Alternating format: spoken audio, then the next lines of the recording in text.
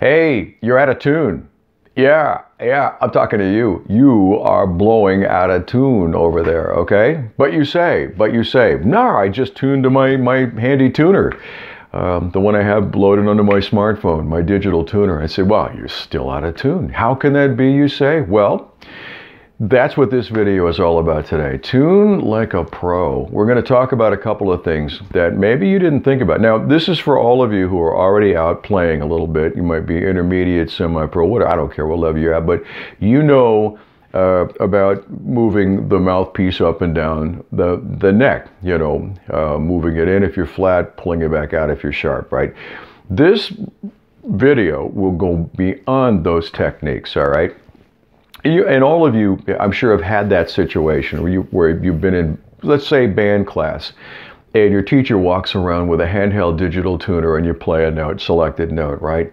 And each of you play that note, and you play it until the tuner says, I'm happy with it, right? That's how we tune. Most of the time, we tune that way. Then you go outside the band room and you start playing outside, and uh oh, there are some changes. Or perhaps your marching band is playing a, you know, a, a drill in the, in the sun in the afternoon in the stadium.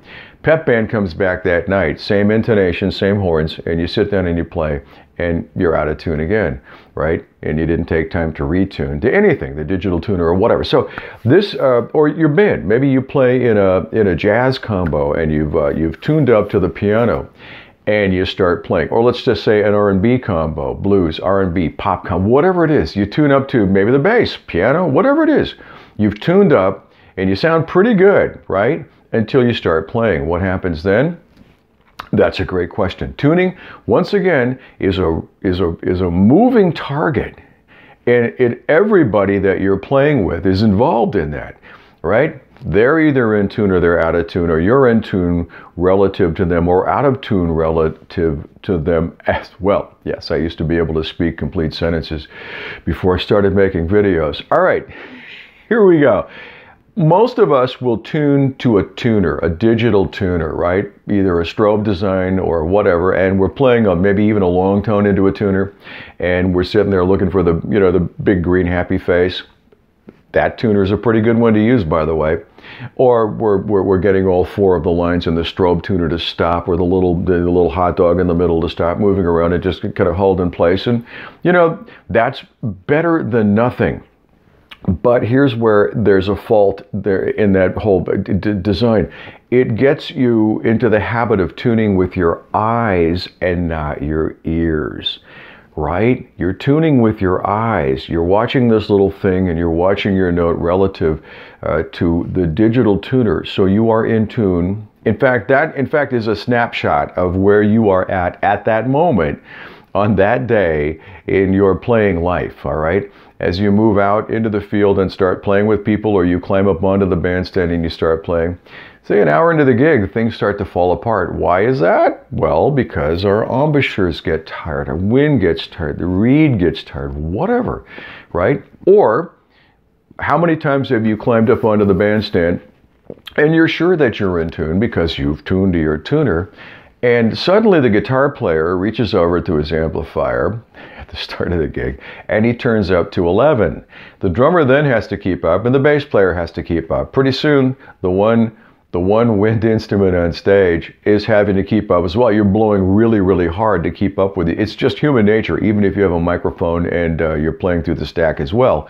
It's human nature to try to sound as loud as everything around you. So there you are, and that tends to drive your tone down into the flat zone.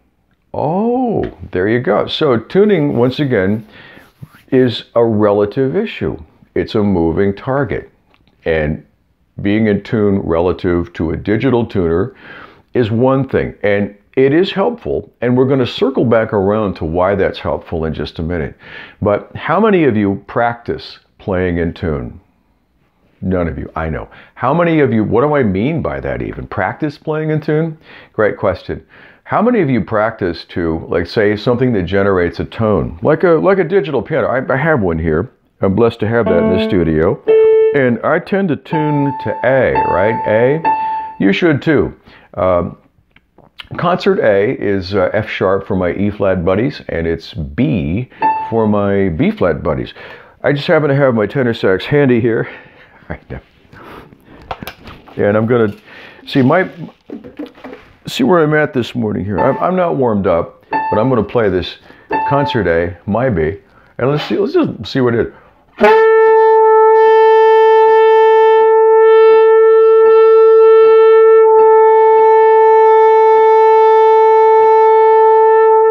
So I started out out of tune and I lipped it down a little bit and I started to blow a little bit more in tune. You heard the difference, right? Um, so tuning to something that generates tone. Now we don't all have pianos. There's a solution. There is hope for you. You can tune to drone, practice drone tracks. Now not those little things that fly around the air. Drone like a like a, a, a cello. There are many practice drone tracks on YouTube, right? It's a wonderful, wonderful thing to practice to because you're tuning once again to your ear and you can get them in all keys, right? It's really easy to find practice drone tracks. You go to the search bar on YouTube and, and type that in. Uh, practice drone trap. Uh, hello, hello, practice drone traps. No, practice drone track in C, right? And that'll load you up with all kinds of options. Pick one and do that every day. Blow to a drone track as opposed to blowing to your tuner, and use your ears to pull yourself in tune. Another way that you can play and practice playing in tune is to engage a practice buddy. What do I mean by that? Somebody that plays the same instrument as you. Maybe not a pianist, maybe not a guitarist, but another saxophone player, or if you're a saxophone player, even better yet, how about a trumpet player? Sound pretty good? Yeah, yeah. So you can get together maybe once or twice a week if you can and sit down and just go over a couple of charts together. That's really going to help with your sense of playing and practicing your intonation. Now, here's another thing. Every saxophone, no matter what it is, by design, every saxophone has notes that don't sound their best. Some notes sound really good. You ever notice when you're playing in some keys, for example, your horn just sings and then other keys your horn doesn't sing? Well, that's because, you know, the inherent design of the saxophone, this uh, five or six feet of, of breast, breast tubing, takes a lot of air to make it work.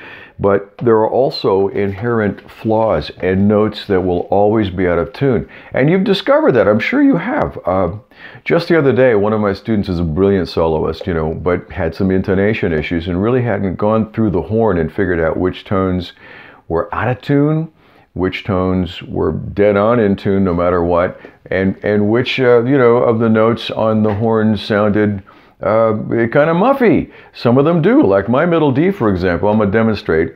Sounds kind of hairy. It's like the, like I'm blowing through the, uh, the the wool socks of the forgotten man. Check this out. Relative, let's say, to an F sharp. Less hairy, but now a G.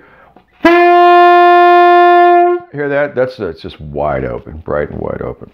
So what you need to do, and I, I understand this is true for any reed or woodwind instrument, is that, that the, all of them have peculiarities in intonation, right? All of them. So, but we're just talking about saxophone today. So here's a, here's here's a here's a job for you. Job one for you today is to get your tuner. I don't care if it's the one that makes a big green smiley face or a Strobo tuner or whatever.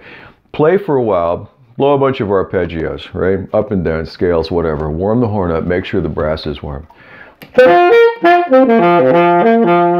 Right? Just do that for, I don't know, 20 minutes or so. Brass feels warm, neck feels warm, horn is happy. All right. Now you want to sit down and take that tuner and go through every note. Start at low B flat, go all the way up to uh, F sharp if your horn has it, or F, right? And, and note where the tuner is. After you've tuned, first of all, no, no, I, wind the clock back a little bit here. First, tune up and grab that A, right? Let's, let's just grab that A. Concert A. I'm trying to prop the horn up with my knee. I don't really play that badly.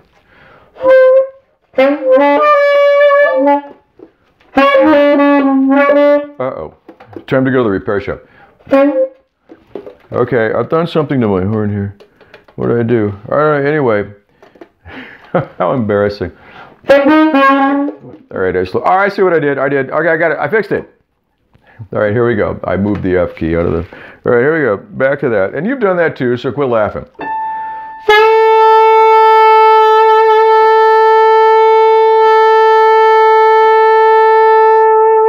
Get that dead on in tune with uh, your tuner, all right?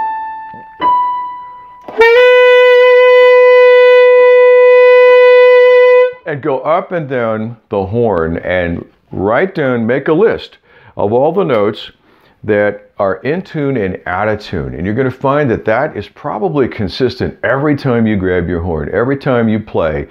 Those notes are going to be out. Now, my horn, it's got uh, F sharp, F sharp 2 generally is out of tune, and E2 is almost always out of tune. E3, top E, oddly enough, is right on the money. Low E, right on the money.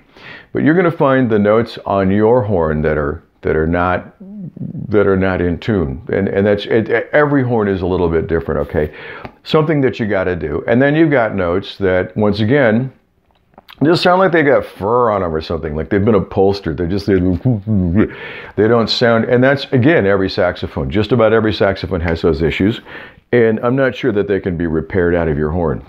you can make sure your high F isn't, isn't off the tracks. Yeah, that'll help, but that's something that I want you to do, and I want you to do that today, or at least as soon as you can. Get to know your horn a lot better, okay? And in this way, you will be tuning like a pro, using your ears, tuning to something that helps you. Why your ears? Well, because it helps you to make those super fast, quick adjustments while you're out on the bandstand. Again, the bandstand, the marching band, the combo, whatever, moving targets, all of them. And as you progress into the gig, things change it. Yet they just change. Guitars change tune, basses change tune, the weather, humidity, temperature, all of the above are working against your sense of intonation.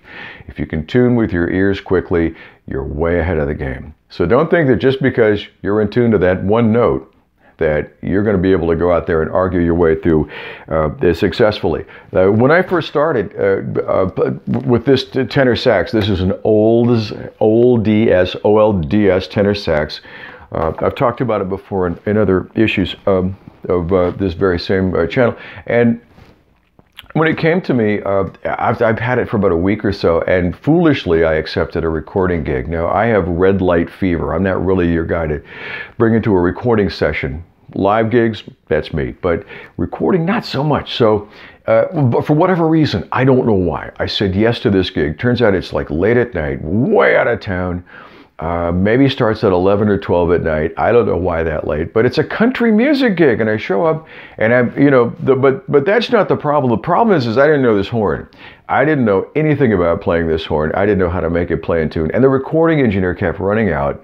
And with his little handheld recorder saying, You're out of tune, you're out of tune, you're out of tune. I mean, he's having a meltdown. And, you know, I started to have a meltdown. And, well, you know, things you know, went further down a hill to the point that I eventually packed up and just went home and thought, oh. So you got to know your horn. You got to know which notes are in tune, which notes are out of tune, how to set it up, how to play it properly so that it stays in tune, and how to actually play with everybody else relative to their sense of intonation and outtonation. Notice we don't say outtonation. I probably invented a new word there. But anyway, enough for today. If you have any questions, best way to reach me is through Gmail. DaveGoodSax at gmail.com. All one word, DaveGoodSax at gmail.com. Hope this helps. Now go out there and get that horn in tune.